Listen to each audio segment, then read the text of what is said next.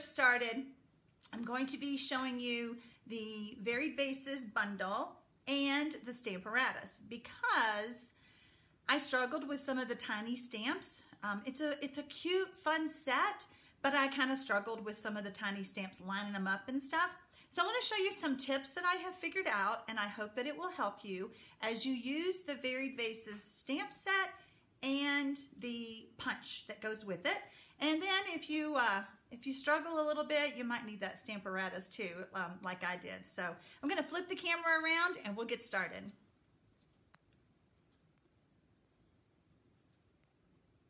There we go. Okay, let's get rid of my name. Okay, so cute punch. I mean, I prefer punches any day. I love punches and they're just, you know, it's just easier sometimes just to grab a punch than, oh, I can see myself in the punch. That's funny. um, you know, you can, you can just grab that punch, punch out your image and you're done. You don't have to go to the big shot or anything like that or use those scissors to cut.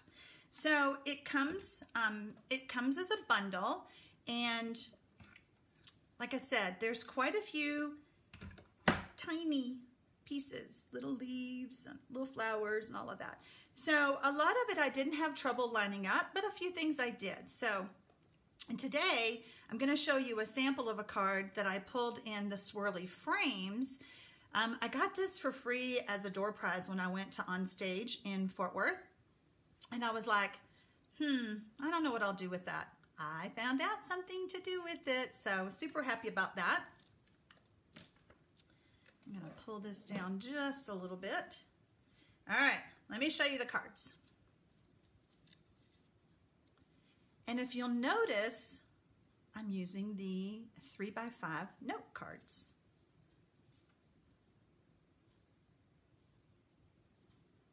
There's that what is it called? Swirly frames. And I had to use it again. I just thought it was so cute. This was such a simple card to make. So what I want to do, um, I want to keep making these little note cards. And then um, a while back, I was playing with a note card holder, has a little belly band, and it would hold, I think it holds like five cards and five envelopes. I have some designer series paper that's coming today that'll match my colors better.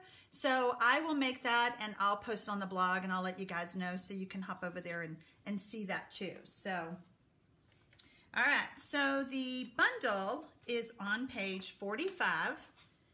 And, I, you know, sometimes we miss seeing this little logo. If you order the punch and the stamp set together, you get 10% off. So always look for that little logo. I wish it was bigger so that we wouldn't miss that. But this stamp set, whenever and when you see this little logo, um, whenever a Stampin' Up! demonstrator sells a million dollars, they get to go to Stampin' Up! in Utah and sit down with the designer and have a stamp set um, that is their set. So, and this is my friend Mary's. Um, she is a fellow Arizona, Azoni is what we're called. So I'm to set that aside. Okay, so these are the little note cards that I'm using today. Um, it comes in a pack of 20 with the envelopes. Um, you can mail these in the mail. Um, I haven't mailed them in a while, so I don't think there's extra postage, but you might want to check. All right, so before I show you this, I want to show you that you could punch out um, the images and you could take your pieces, where's my block? Like put these on a block and have your um, vases in there and your little flower and your leaf. So I did that at first and then I was like, well, wait, I don't want all my vases to be lovely lipstick. I wanted them to be different colors. So that's when I went to the Stamparatus. So I made a little template and I actually made two templates and when I first punched it, when you punch, you're punching upside down, okay? When I first punched, it bugged me that they were all upside down. So I made another one. It doesn't matter. I don't know why I was being silly. I think it was just a, a mental thing. Because once I add the stamps to the Stamparatus, it's fine. I'm not having to line something up upside down. I think that's what I was thinking. Well, I don't know how to stamp upside down, so um, it doesn't matter. You know, so you could use this template or um, just turn it around is all I did was turn it around and I wrote the word template and I'm going to stick this in my stamp set so that I always have it for the Stamparatus. So, like I said, I punched out my pieces and I have stuck it to the um, platform and I have the foam piece in there because these are photopolymer stamps. And um, I, I took my stamp, let me just show you what I did. And whenever you use photopolymer, you know how they stain, but you know what? You can see it better when they're stained. I may just go do that to all of them. so I'm just gonna line this up and I will, I will teach you this tip too. Kind of really make sure it's in there because with the edge of the photopolymer, you might think you have it all the way in there, but it may not be. Does that make sense? So really just kind of seat it in there. And because it's sticking to my nails, it's not wanting to let go. Yep, there we go. Let's try this.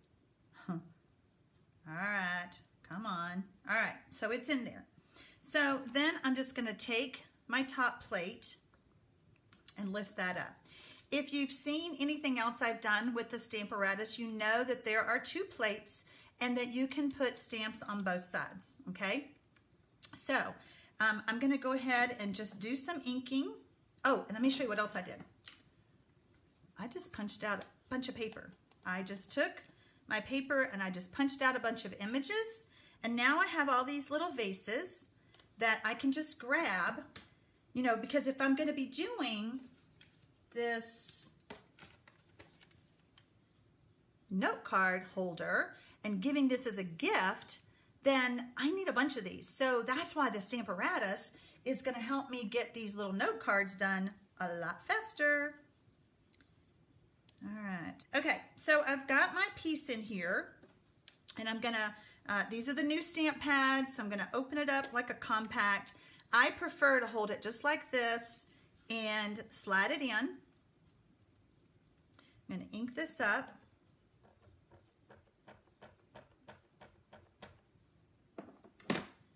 Don't worry if you get ink on the Stamparatus. It's not going to get on your paper. And since it's photopolymer, it sticks. And I obviously can't use my magnet. By the way, most of the times I only need one magnet when I am um, using my Stamparatus. So let me see if I can adjust my camera just a little bit. You don't need to see my shirt. You just need to see what I'm showing you guys. All right, so I'm just gonna lift that off. And now, uh-oh, my stamp was dirty. Didn't so see the little dot? All right, let's see what happened here. Well, that just brings me right into showing you the chamois that you can use. The chamois does work really well to um, clean off your, oh yeah, I see something on the, to clean off your stamps um, without getting your fingers inky or anything. And it's not gonna leave any lint. Before this came out, we did not have um, I was using baby wipes, but I found that I was getting lint on the baby on the baby wipe on the stamp. So I don't have I haven't used it on this, so there's no baby wipe limp. Baby wipe limp, hard to say. All right, so the beauty of this is that every piece of paper we have has two sides. I'm just gonna turn that over and we're gonna do it again. Make sure there's nothing on my pad. Looks good.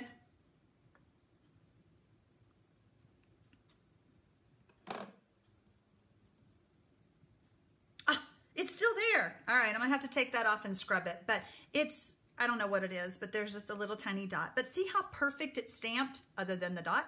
Um, so yeah, taking another color,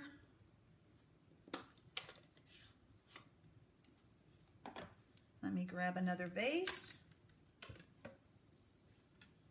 This one in.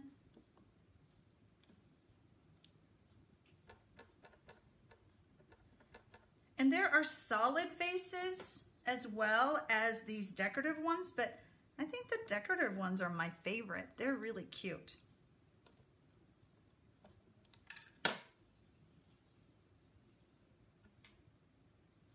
Ta-da! See how perfect? It's such a simple process that you just, I mean, it made me fall in love with the stamp set even more after I figured out how to pull in my um, Stamparatus. Okay, let's just do one more color. Oh, I strongly encourage you to, on the back, there are labels. I encourage you to put that one in there so that you know because yesterday I didn't do that to all of them because they're brand new. You know, we're so busy playing with everything. They're brand new and I did not do that and I almost messed up. So make sure you do that. I always love telling you guys um, my mistakes so that you learn from them and maybe you won't do the same thing.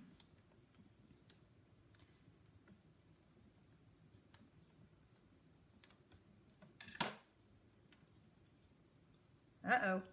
You know, when I put that down, I thought it wasn't lined up. So let me fix this.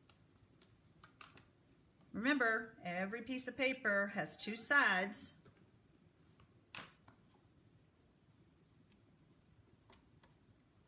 So what I'm going to do is I'm going to move this and I'm to put that back in like that. Grab it. My back in. So the Stamparatus, like I said, will help you when you're doing multiple images or multiple projects. Um, like, you know, I said, the little holder either holds four or five note cards. Well, that's a lot of little stamping and punching. Okay, uh, the blue one.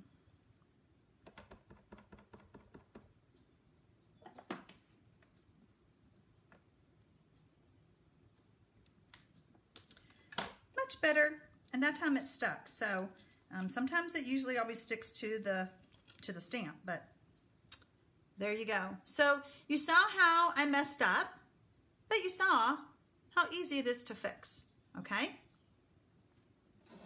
Okay, so I just stuck my finger in the pad. Oh, goodness. Well, the chamois to the rescue because it is sitting right here. There we go. Okay. All right, so I'm done showing you. I think you get the idea. Um, what I want to show you now is how to stamp a card that I had an idea for.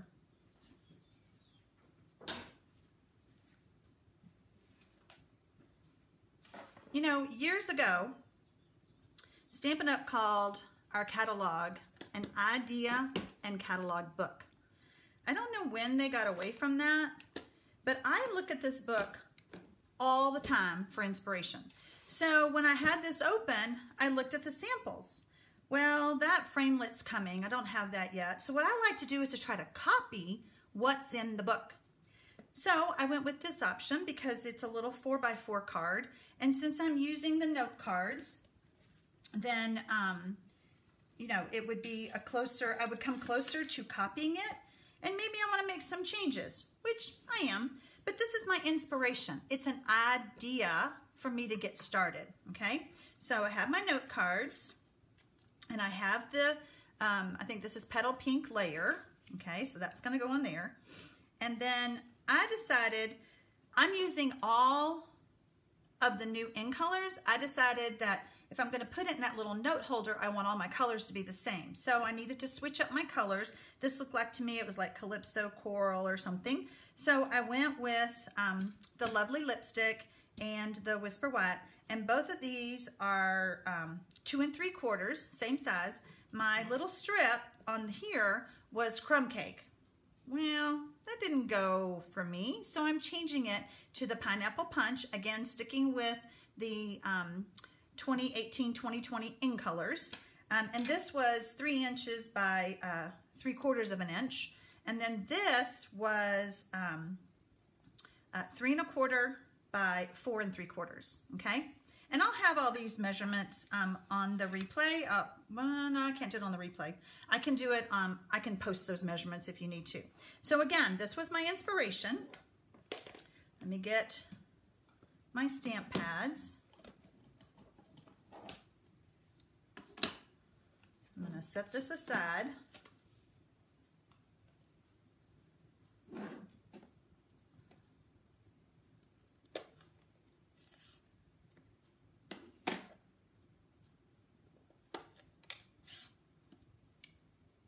Well, I want you to be able to see what I'm doing. Hold on. Let's see if I can pull this back in. All right. So I'm going to take the Whisper White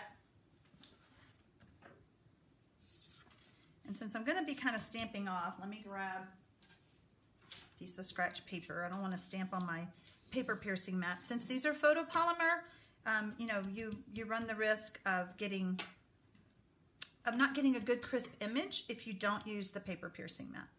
All right, so I'm gonna take and I'm just gonna stamp some flowers randomly.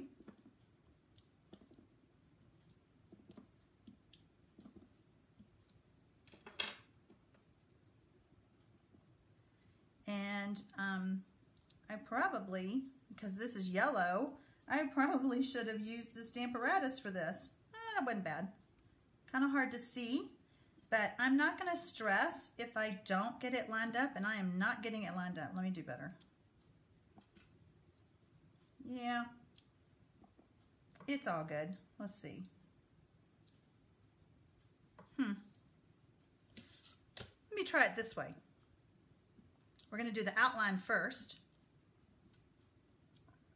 Like I said, I don't mind a bit if I make a mistake when I'm doing this because then you guys will learn. Huh, I'm still not getting it. Oh, that was better. I obviously should have practiced this first. Yeah, I should have. All right, we're just going to go with it. The rest of mine don't have to line up, so that's a good thing. All right, so I'm going to take I'm doing the Lovely lipstick and I'm going to stamp off so that I get a softer and not so dark image.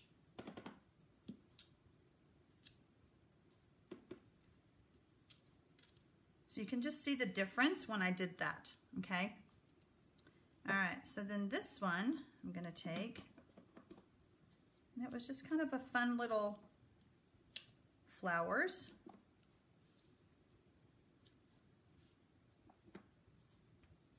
Okay.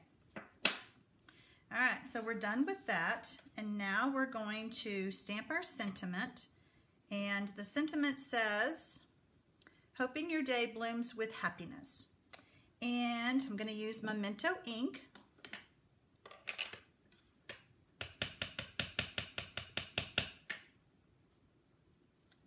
I'm stamping off to the right just a little bit.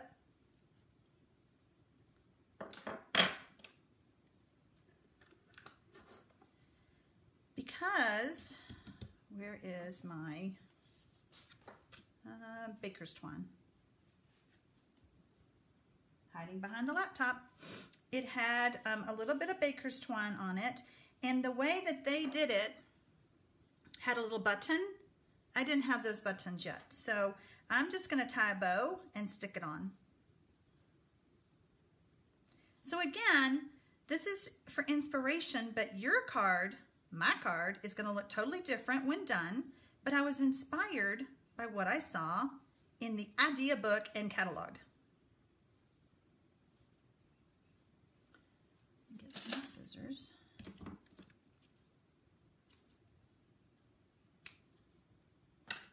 And a glue dot.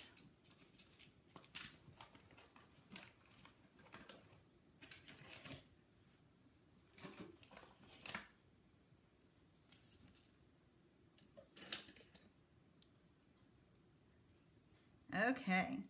By the way, if I didn't mention it, which I don't think I did, if you do not have this idea book and catalog, you can send me a private message and I will send one to you. Um, I just, There's just something about having it in your hands versus uh, looking at it online. All right, so I'm gonna add my layer. And these cards, um, I use my bone folder, but they still kind of want to stay open. So I do find that it's easier if I just go ahead and open it up. I'm not fighting that movement of, the, of it not being flat. Okay. So when you look at the picture, they offset that Calypso coral underneath. So I'm going to do the same thing with my um, lovely lipstick.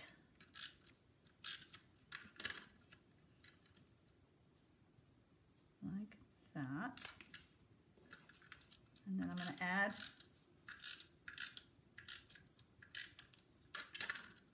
this layer more straight on. Eh, now we're going to crook it the other way. And then I want some dimensionals. Oops.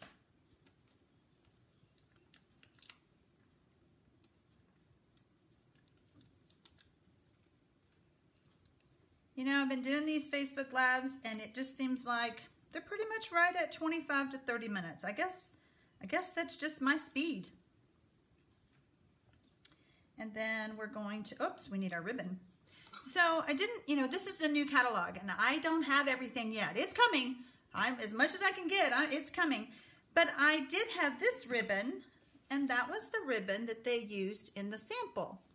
So I went and got it and I think it's close enough that it's going to be okay. So that's what we're using today. Um, and it looks like they took and went off of both sides. Whoops. Actually, I'm going to use my little banner. It goes off of both sides of the banner. You know, so even though you may not have everything that they're showing in the sample, like I said, your card is going to look totally different when you're done. So we're going to use a little bit of snail in the back of our ribbon.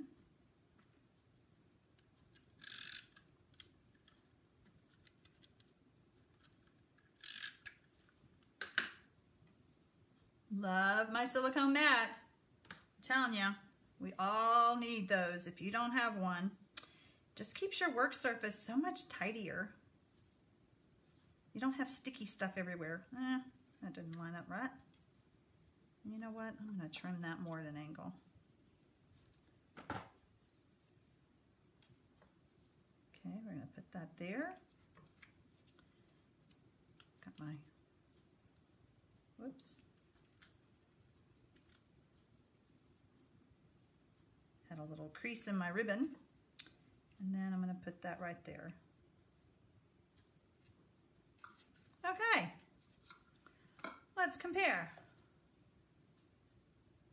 I like mine better because I love the brighter colors. But anyway, so um, just like I said, if you if you will look through this idea book and catalog,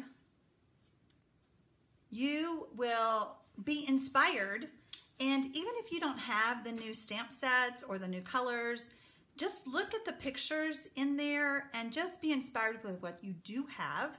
If I can ever answer any questions, like if you want to know how did they make the card or what did they use to make the card on page 44, you can send me a private message and I can let you know that information. All right, guys, thank you for joining me today. I hope that I gave you some tips on how to use the varied vases and the punch. Um, uh, one thing I did mention, when you use the punch and you're punching your paper, you kind of need to be mindful of if you're going to be, let's say you stamped a bunch of vases on a piece of Whisper White, you need to be mindful how you're punching because your punch is going to be punching more than just that one image. Make sense? Yeah, I probably should have added that on here too, but you'll understand what I'm saying the first time you use it and you're gonna go, that's what Sharon was talking about. So anyway, thanks for thanks for spending the time today with me and I really appreciate it. And um, I hope you guys have a happy day. Bye.